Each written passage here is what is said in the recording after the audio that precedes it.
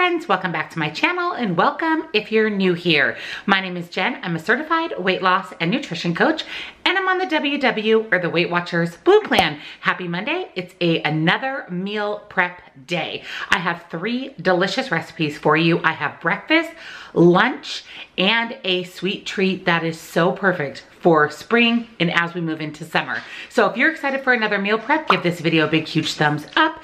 And don't forget, if you're new or you haven't yet subscribed to my channel, I'd love to have you here. Hit the subscribe button and ring the bell right next to it so you never miss a single video. I do a meal prep every single Monday where I share at least three recipes with you, so you definitely don't wanna miss out. Check out the description box down below where you're going to find nutrition coaching. I do offer personalized to you macros and calories, really, really important to know where you should land every day to be successful. And if you wanna chat with me one-on-one, -on -one, I offer one-on-one -on -one coaching sessions as well. So check that out down in the description box. Links, discounts to everything I shared with you in today's video, as well as all of my other favorite things, and of course my Facebook group are also down in that description box. So check it out before you go. So we have three amazing recipes to make, so let's jump in.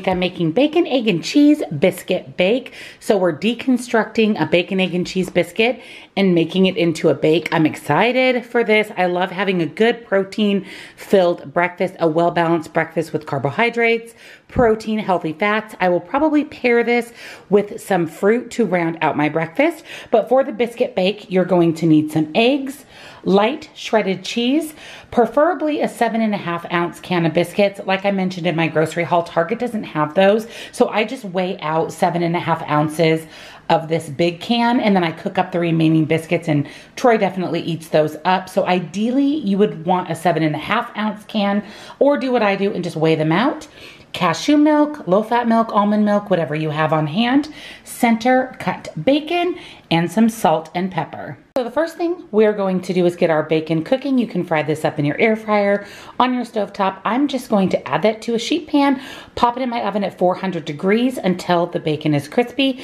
You need eight pieces. I'm just cooking up the entire pack because again, my husband loves bacon, so he can have that and those leftover biscuits. So this is 8.2 ounces of biscuits. I need seven and a half. So when I go to assemble the casserole, generally I just cut one of these biscuits in half, discard that, and that makes it seven and a half ounces. Here are the other four that are going in the oven alongside the bacon. While the bacon is in the oven, we're going to crack eight large eggs into a bowl.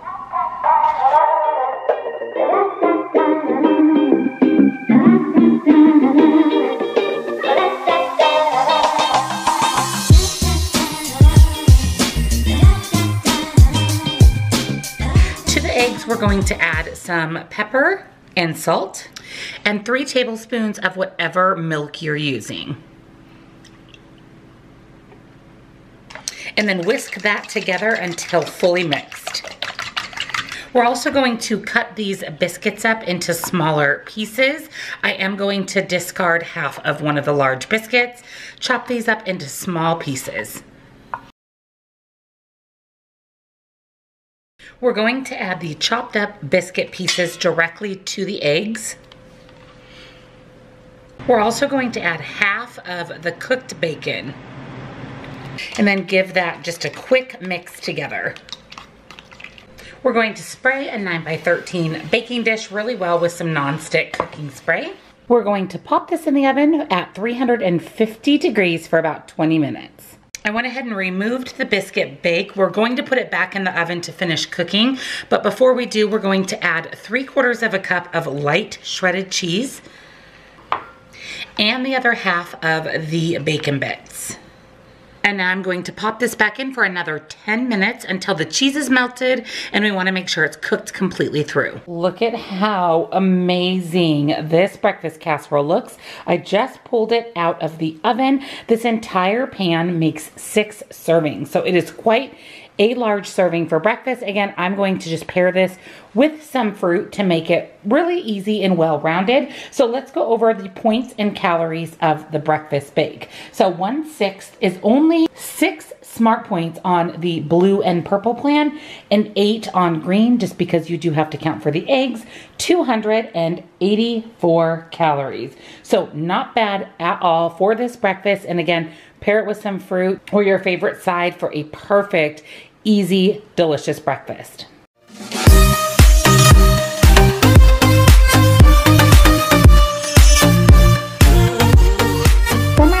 week I'm making a one pot 30 minute chicken chow mein. I'm excited for this. I've been wanting another Asian inspired dish. Plus this is a great way to get in all of your veggies. You're going to need a bag of coleslaw. This is just a tricolor coleslaw with carrots. You'll also need some additional carrots, sugar, snap peas, chicken stock, chicken, of course. This is the thin sliced chicken breast. We're just going to dice this up. A bell pepper. The recipe calls for a red one. I have this green one that needs to be used up, so I'm going to do that. Crushed red pepper flakes, pasta. So, of course, I'm using a Fiber Gourmet pasta. This is the light linguine. You guys already know this is my go-to pasta. You can have two ounces of pasta for only 100 calories versus 210 of traditional pasta. That makes two ounces dry of this two points versus five to six points. So it's a great way to save a lot of points in calories. Not to mention it has 25 grams of fiber, which is your complete daily intake of fiber. So that's amazing that it is in the form of pasta versus just two grams in traditional pasta.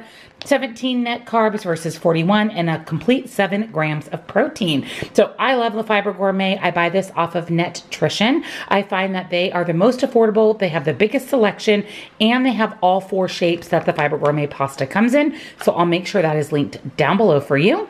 You'll also need some soy sauce, some hoisin. I'm just using this mandarin orange sauce. I had this in my fridge and it needs to be used up. Minced garlic, cornstarch, and some oil. We have lots of chopping to do. I am going to cut the ends off of the snap peas, dice up the bell pepper, dice up the carrots, and dice up the chicken.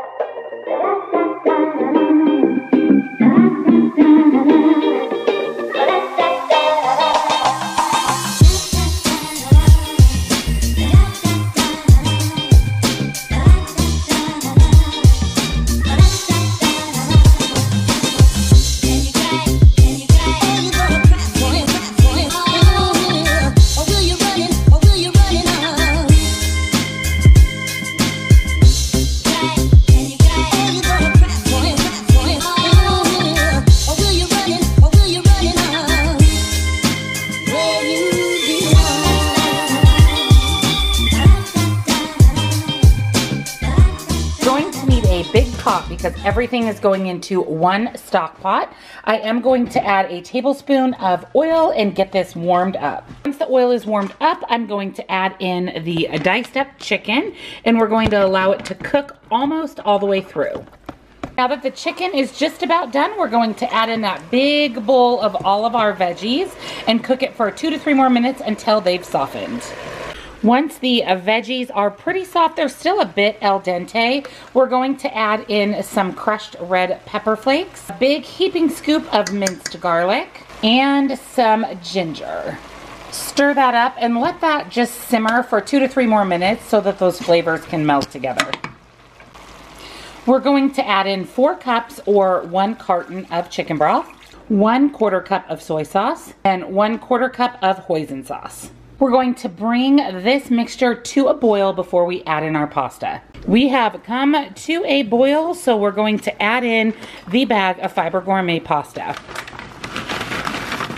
I reduce the heat. I'm going to pop the lid on it and we're going to allow the pasta to cook al dente. My pasta is cooked. It's still a little bit al dente, which is exactly how I want it to be because it is going to continue to cook a bit, but I'm adding in a slurry of one tablespoon of cornstarch and one tablespoon of warm water. I just mixed that together and it creates a slurry which will thicken up the chow mein.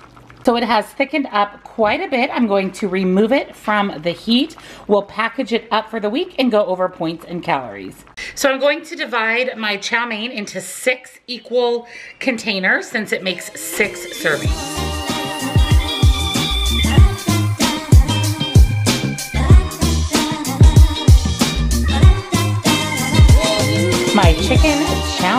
Looks absolutely incredible. I divided it out into six equal servings. It is only three points on the blue and purple plan for this entire bowl and five on the green just because you do have to count for chicken, 235 calories. So very low point, very calorie friendly, and a fantastic way to get in all of your veggies.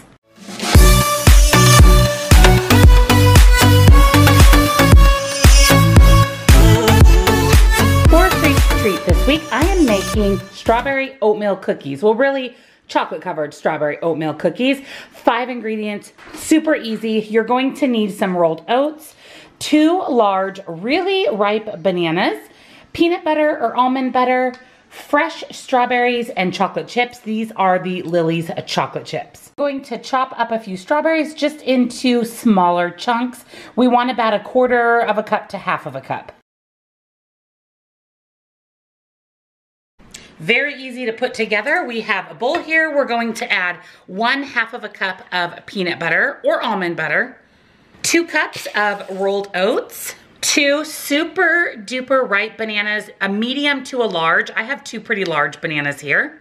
One quarter cup Lily's chocolate chips and our diced up fresh strawberries.